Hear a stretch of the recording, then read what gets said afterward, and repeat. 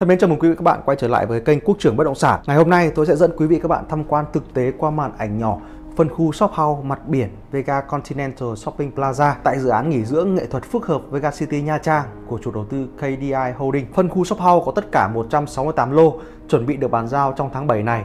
Như các bạn đã thấy là một khu nghỉ dưỡng cao cấp thì những tiện ích như hầm gửi xe, các khu cảnh quan với hàng trăm góc check-in siêu đẹp.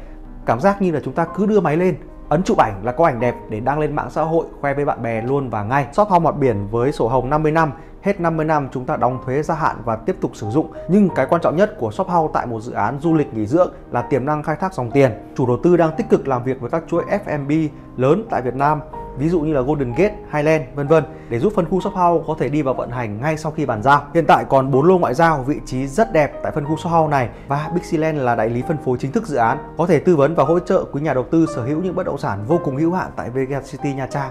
Chỉ cách trung tâm Trần Phú, thành phố Nha Trang khoảng 15 phút đi bộ, lượng khách đổ đến Vega City chụp ảnh, tham quan ngày một đông.